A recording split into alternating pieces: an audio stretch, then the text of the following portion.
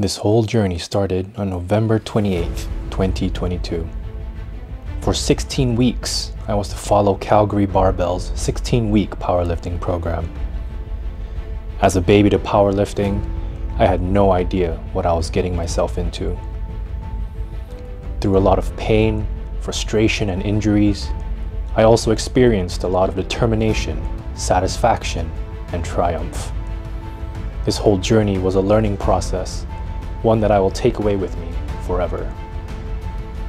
Now, 16 weeks later, all of the countless hours in the gym and all the strain I put on my body has led to this. The culmination of my very own experience of Calgary Barbell's 16 week powerlifting program. This is Max Day.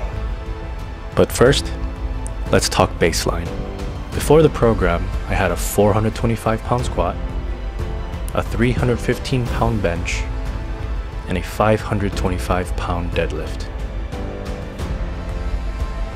Our main goal is to increase our max by as much as possible. And by doing that, I plan to increase my squat and my deadlift.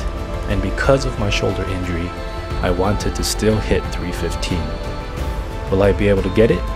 Well, stay tuned to find out. Well guys, this is it. This is the final video concluding Calgary Barbell's 16 week powerlifting program. I'm really excited about this, but I'm really nervous as well. But let's stop talking and let's get down to business.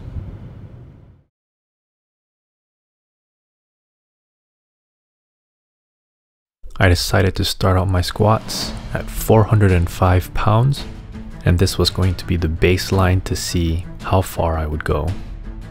It moved well, although for me it felt heavy, so I decided to move up to 425.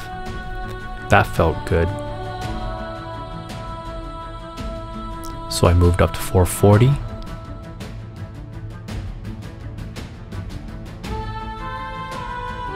And you can see how excited I was about that.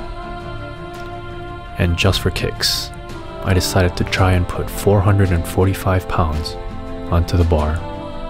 And this is how it went.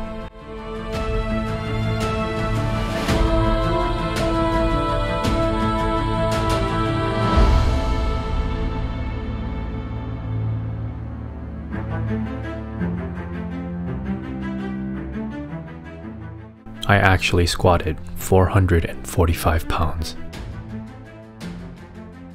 Moving on to bench.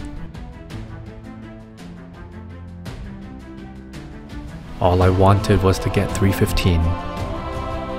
So the first heavy set that I did was 295. And I smoked it.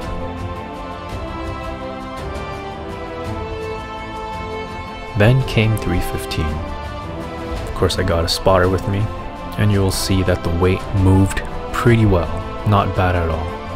But because I haven't practiced benching so heavy and so long, disaster struck, and my back spazzed and cramped up from keeping my whole body tight while I was benching. You can see when I'm trying to get up from the bench position that I had trouble getting up and that was because my lower back was killing me at that time, and that would have grave consequences for what was to come later. Because of my back spazzing, I found it really difficult to brace properly for my deadlift. My brace felt weak, and my lower back was tender for the whole thing. However, I really wanted to hit a new personal record, so I decided to try anyway. I started out with a 475 pound deadlift, and even that didn't go well. As you can see, I had trouble picking it up at the beginning. However, I braved on and moved on to 495 pounds. As you can see, my bracing was horrible, which is why my hips shot up first before the weight managed to move up. By this time, I could decide whether to stop there or to keep going, but because I'm a stubborn son of a gun, I decided to try one more deadlift. For my last deadlift, I chose 515 pounds. Using all of the remaining energy I had in me, I lined up for my deadlift and I pulled as hard as I could. After finishing the 515 pounds, I knew that that was it for me, and I just had to live with the results that I got.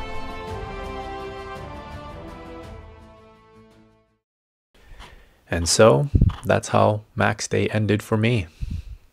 I was exhausted by the end of it, and it took me a good probably three or four days to recover from the ordeal. My central nervous system was fried, and my body was tired as well. I have to say, I am a little bit disappointed with how things ended up. Of course, I couldn't have helped it because it was a freak accident. It was something that I couldn't control. Um, but I am really happy with my squat. I'm glad that I went up by 20 pounds. And although I did not get my deadlift PR, maybe in a couple of weeks I'll try again. So, yeah, that's pretty much it for me for this series. Thank you so much to all of you who stuck it out with me through the whole thing uh, and saw my progress each and every step of the way. Uh, this was a great experience for me, even though it didn't end the way I wanted it to. And would I try it again? I'll probably try the eight week next time, but uh, I might have a separate video on that next time. Well, for the last time for this series, thanks for watching. Please like, comment, and subscribe if you haven't already. Until then, I'll see you in the next video.